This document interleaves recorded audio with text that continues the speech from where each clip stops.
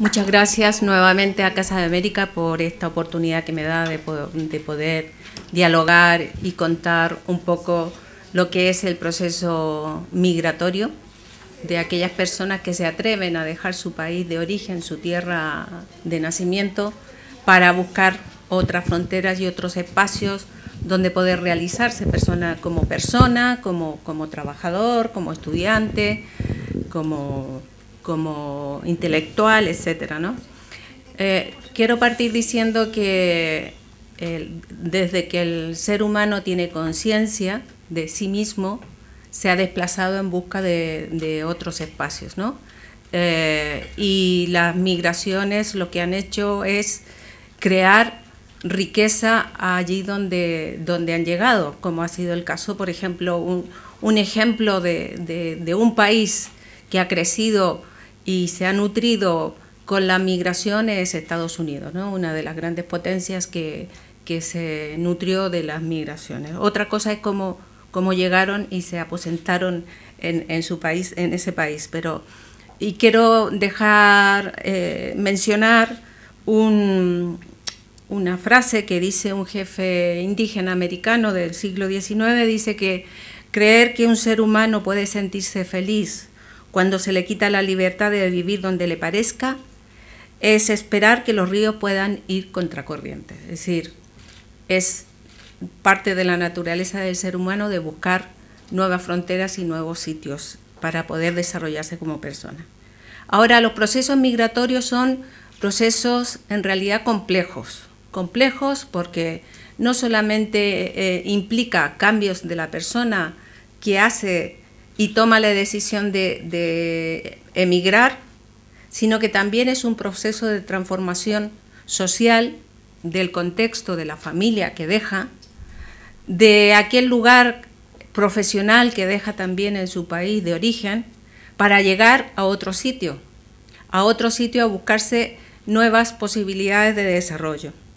Y eso implica también un proceso de transformación colectivo de aquel sitio que deja y de aquel sitio al que llega, porque implica movimiento, ¿no? Al, llegar a alguien a tu casa, cuando tú organizas la casa y tienes un invitado, sea, sea haya avisado o no, tienes que hacer movimientos y desplazamiento en tu casa para darle acogida a esa persona, ¿no?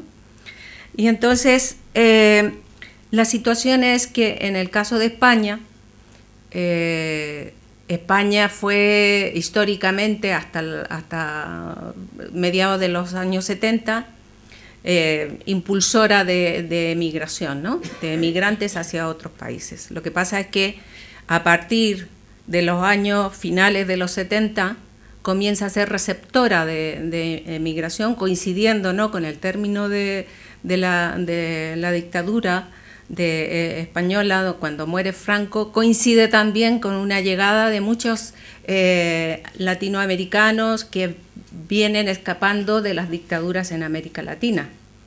Esa es una de las causas de, también de la inmigración que, que llega aquí a España. Por otro lado, también producto de los cambios sociales que se están dando, los cambios económicos que se han estado dando y producto también de esos cambios sociopolíticos que se dieron, comienza a llegar también una emigración, inmigración económica, ¿no? que busca eh, poder realizarse y encontrar nuevas, nuevas formas y nuevos eh, nichos laborales donde poder trabajar, conseguir el sustento para la familia. Cuando alguien emigra, cuando alguien sale de su país, se produce eh, ciertos cambios y que depende de, tres factores que influyen en que estos cambios sean más o menos traumáticos. Primero, que sea un acto voluntario de emigrar. Cuando es un acto involuntario, pues el proceso de transformación, el proceso de cambio, el proceso de adaptación y de adecuación es mucho más largo es mucho más difícil porque primero no es un acto voluntario. No me he preparado para, para vivir en otro país que no sea el mío.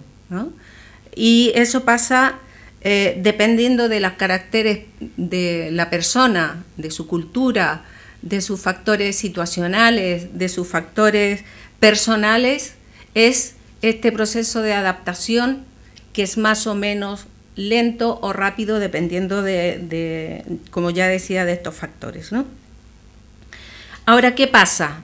Cuando alguien emigra y busca en otro país, porque o por oídas le ha llegado de que la situación allí está mejor, eh, que puede encontrar eh, trabajo, que podrá desarrollarse de otra manera.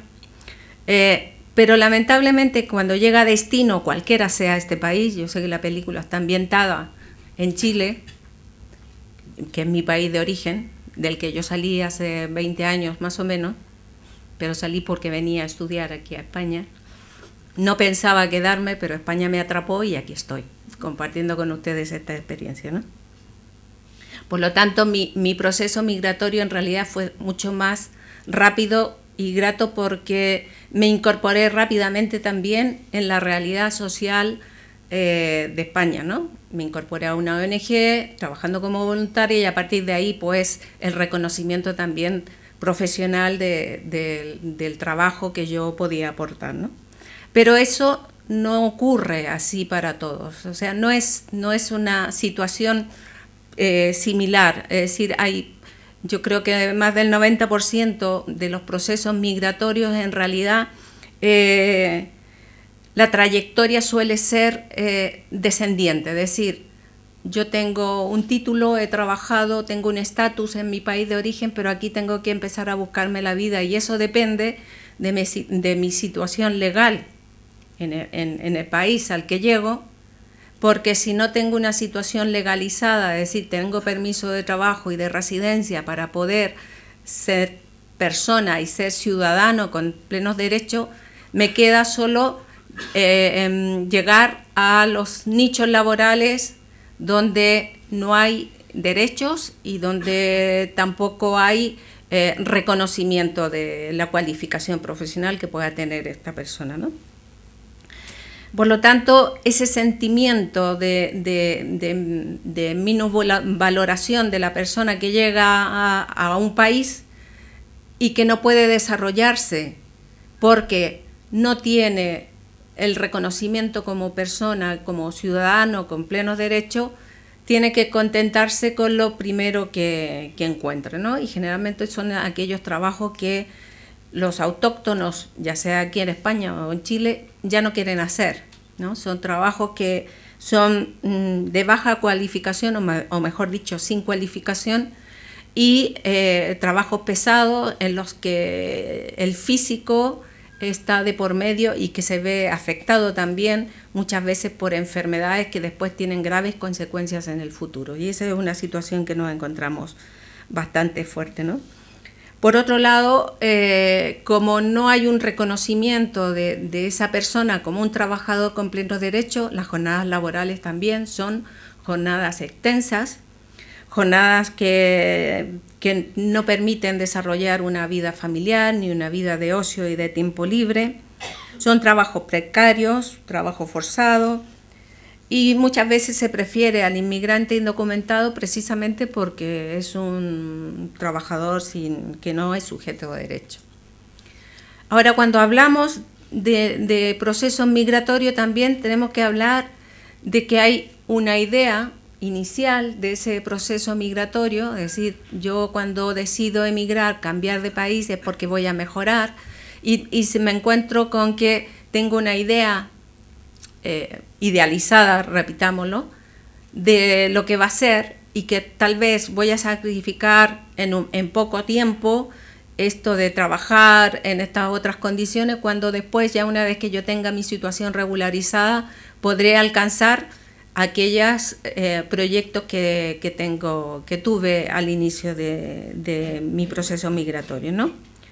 Pero en realidad ese, proyecto va cambiando dependiendo del entorno al que llega. Si tiene la posibilidad de, conseguir rápidamente que a alguien le pueda hacer un contrato de trabajo para poder acceder, porque el contrato de trabajo es el, que te posibilita regularizar la situación del país eh, de, de destino, de llegada, eh, cosa que no es tan fácil. Aquí en España, por lo menos, no es tan fácil. Y por otro lado, tampoco es fácil mantener esa situación de regularización. Es decir, si al cabo de un año que yo he tenido, si he tenido la suerte de tener permiso de trabajo y al cabo de un año eh, no he cotizado la seguridad social, vuelvo otra vez al punto inicial de no tener eh, permiso de trabajo y vuelvo a estar en situación irregular y vuelvo a estar en unas condiciones en que, eh, de inseguridad, ¿no? de inseguridad personal, de inseguridad social. Por lo tanto, esto es una rueda para que la persona que migra pueda sentirse parte e identificada con la cultura de llegada, con la sociedad de llegada, necesita de varios elementos que le, que le permitan sentir que ese cambio, esa opción que ha, que ha, tomado, ese sacrificio que ha hecho para, para poder incorporarse va, a tener un buen resultado. Primero es el trabajo, porque en los casos de, de, migración económica es el trabajo el que te posibilita ser persona, ¿no? te dignifica como persona. Luego está la vivienda, en la medida que tengo trabajo puedo acceder a la vivienda. En la medida que tengo trabajo, puedo tener eh, acceso a, la formación, a la mejora del empleo, porque eh, otra dificultad que hay es que si eres profesional, está la dificultad de la homologación de tu título profesional en el país de llegada. En el caso de, Chile, eh, podrán ver en la película que eh, aquí en España se requiere primero eh, la oferta de trabajo, el contrato de trabajo para tener permiso de trabajo o residencia. En Chile, por lo menos durante los tres primeros meses, hasta que encuentra un trabajo en esos tres primeros meses, le dan el visado y la residencia para, para trabajar. Pero también pasa lo mismo que para mantener esa residencia y ese permiso de trabajo requiere seguir trabajando y cotizando a la seguridad social aunque la seguridad social en Chile es privada, está en manos privadas, no es como aquí que se aporta un fondo común solidario para mantener la salud de, todos los ciudadanos españoles. Entonces, hay, sí, eh, efectivamente, eso se va, va, va en camino de, destruirse también, pero bueno, dependerá también de, todos y todas cómo esto pasa. Entonces, en este contexto, eh, hay tres etapas importantes eh, eh, del proyecto migratorio. Una, que es la primera etapa y la más difícil, que es la del choque cultural. Es decir, eh, la persona que migra, supuestamente la persona que está mejor dotada psicológicamente, socialmente, económicamente, porque también tiene que pagarse un billete para, para salir, tiene que tener redes de apoyo donde llega para, para poder eh, pasar al segundo nivel que es de, reconstrucción de la identidad y de la pertenencia cultural. Es decir, yo vengo de un país, de una tierra, con unos códigos culturales que son, que aunque puedo hablar el mismo idioma, son diferentes, dependiendo del entorno en el que, en el que me he desarrollado, si vengo del mundo campesino rural es muy distinto si vengo de la ciudad, es muy diferente si he tenido formación eh, universitaria, si tengo una profesión, si he tenido experiencia laboral en el país de origen, si soy mujer, si soy joven, si soy niño, etcétera, ¿no? Son una serie de condicionantes que son las que hacen posible que este proceso de choque cultural en el que siento que mi identidad se va eh, difuminando con la cultura donde llego, pues, ¿quién soy yo? ¿A dónde voy? ¿Qué quiero? ¿A dónde quiero llegar? ¿no? Entonces, el proceso de, reconstrucción de la identidad y de pertenencia puede ser más o menos eh, corto en ese proceso si en, la sociedad de llegada se me han facilitado todos estos otros elementos que yo antes les mencionaba, ¿no? el acceso al trabajo, el acceso a la vivienda, el acceso al tener redes de apoyo, etcétera, ¿no? Eh, y luego, en una tercera fase es cuando ya formas parte del proyecto cultural de la sociedad de llegada, ya te has insertado y, tienes la estabilidad y la continuidad y la sostenibilidad de un trabajo laboral, de un reconocimiento profesional, de un reconocimiento de persona, has reconstruido la identidad y has incorporado además códigos culturales de la sociedad allegada. Es decir, ya lo que era mío no es tan bueno como era cuando yo llegué, porque como que uno siempre pone, ah, no, es que en mi país las cosas se hacían así, no, es que en mi país eh, el médico me atendía así, no, era mejor así, ¿no? Entonces ya te vas dando cuenta porque vas conociendo aquellos códigos que son subconscientes incluso, que eso no lo puedes determinar ni, ni puedes hablar de ellos hasta que no vives fuera de tu cultura, no descubres cuáles son los códigos culturales propios de tu cultura y cuáles no, te, no, no son tuyos, que, los, que son de tu familia muchas veces, ni siquiera son de la ciudad o del pueblo, son propios de tu familia. Y esas son las cosas que, que, que, influyen a la hora de eh, que este proceso ya de, de pertenencia, de, de, hacerte un ser político, eh, que ha superado los diferentes duelos que tienes que superar con el proceso migratorio, eh, puedes decir soy parte de esta cultura. ¿no? Entonces, en esta película vamos a ver muchos de estos elementos graficados, está el contexto, el contexto es el contexto de un, país en desarrollo, entre comillas, lo pongo en desarrollo, entre comillas, eh, que tiene reconocido un reconocimiento mundial de, desarrollo y, que es un país eh, que, que, es el jaguar de América Latina, ¿no? Pero ya verán cómo esta situación se reproduce, da igual en qué país, en qué contexto, en qué sociedad, porque como ahora vivimos en un mundo global, el mundo global lo que hace es acercar y hacer muy, muy ágil en la comunicación, pero muy lento también los cambios y, procesos personales y sociales. ¿no? Quiero finalizar, porque ya es hora, con, con otro mensaje de un, de un africano que dice que la integración de una minoría en casa de la mayoría no depende tanto de los primeros, sino más bien de la buena disposición de los segundos a aceptarlos. Muchas gracias y que disfruten la película.